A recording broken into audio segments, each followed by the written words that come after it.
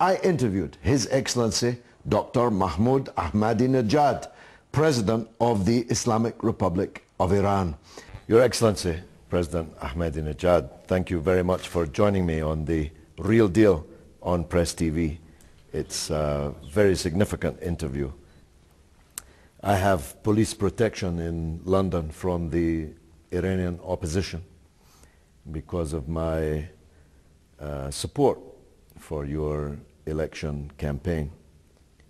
I mention this so you know where I'm coming from. This is George Galloway from the presidential headquarters in Tehran with His Excellency Dr. Mahmoud Ahmadinejad, President of the Islamic Republic of Iran. I suppose we have to congratulate you on being absolutely 100% consistent in your support for unmentionable thugs and criminals.